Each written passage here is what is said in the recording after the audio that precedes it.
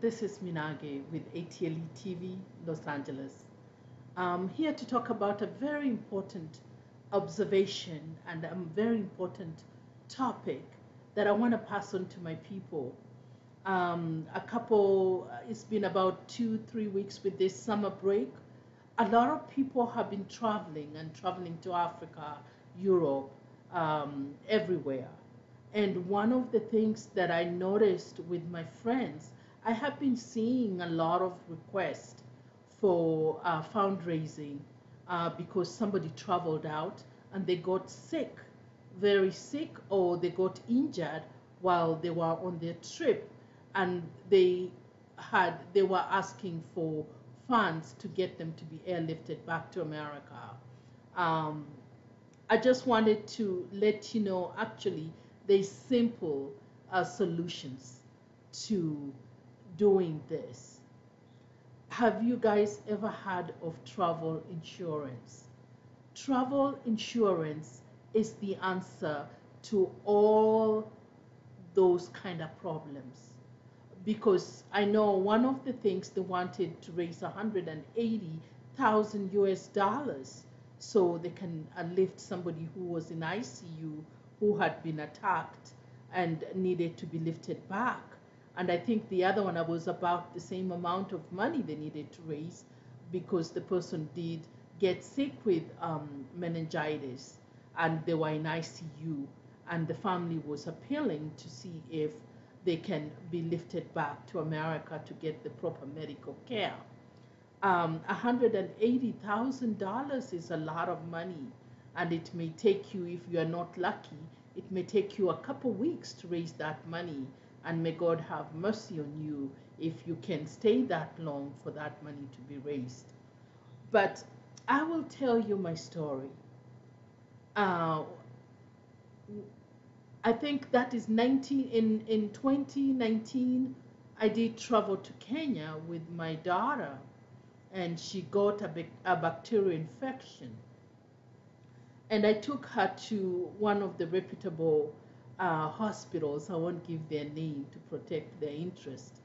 And uh, when we arrived over there, they started testing for everything. I knew it wasn't malaria because we were taking malaria medication. I knew it was a bacterial infection because even me, I was feeling it, uh, the dust, and um, we, I do have poor lungs, so I was feeling it and she started running a fever. So I took her to the doctor, and um, the doctors um, took so much money from me within an hour. I had paid over 300,000, which I thought there was something fishy, but that's for another day. Anyway, by the time I came back to America, I was like, oh my God, there is no way anybody can afford to go out on vacation and afford to be sick. So I started looking for what are the solutions. I like to find solutions. What I found was that I really needed to take a travel insurance. A travel insurance is given by any reputable insurance company, AIG, and many, many, many others here in America. You only need to Google travel insurance and you will get um, 50 of them coming through. And what they only want to know from you the day you're traveling, um, of course, your age is going to determine how much money you pay. I'm not very young. And um, between me and my daughter, when, we, when I got the travel insurance, uh, it cost me under $100 for both of us. I think for her it was like $35 and we were going to be gone for 31 days and for me it came to about 50 something dollars for the 31 days. So it's quite inexpensive. And the beauty is they are able to uh, cover hospitalizations up to $1 million and more depending on how much you take. I think i took a million dollars. And they will airlift you back to america to include a nurse to accompany you if you do get sick and you need to be lifted back. So um, I thought that was something worth really. If you're going to spend 1,400 on your ticket to Africa, please just add the the travel insurance. That add that extra hundred. Maybe if you're 60 70 you may pay hundred dollars. If you are 80 maybe you may pay 90 or 200 i don't know.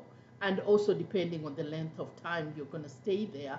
If you're going to go for two weeks then it's going to be really super cheap i went for 31 days and my bill for two people was under hundred dollars so what i'm saying is share this video to as many people as possible ATLE TV, we are here to give you information. We are here to empower you so that some of these things that we see among people of our community, they can use better ways to cover themselves. Um, it's very distressful for each family to go through this, but if they could just spend or spare that extra hundred dollars to get travel insurance, it can solve half of these problems. Um, uh, so share this video to as many people as you can. And I will end by telling you the second time I did go to Nairobi and uh, we had a little cough. I was amazed that I did initiate my insurance, my travel insurance, and uh, I got a nice doctor from Nairobi, and the doctor really did come to my home to see what was going. I was having allergy, I was allergic and I was my lips were swelling. So she came to and gave me the medication, um, you know, um, an antihistamine injection, and of course I felt better. But what I'm saying is, uh, the treatment and the quickness of the service I got was amazing. So my fellow people, my fellow Kenyans, share this video because to as many groups as you can. The reason being, I am seeing um, a lot of our people suffering and they get sick. One of them was attacked and injured really bad by some thugs.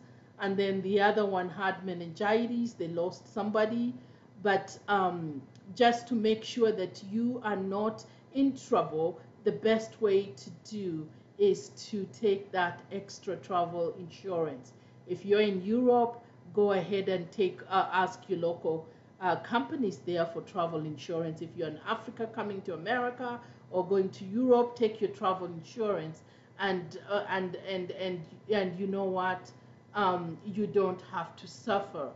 You will be able to afford any care while you're away from home. The only thing you want to remember is as soon as they drop you in your home country, then insurance does end. Uh, thank you so much and share this video with as many people as possible. Knowledge is power. Minage, Los Angeles.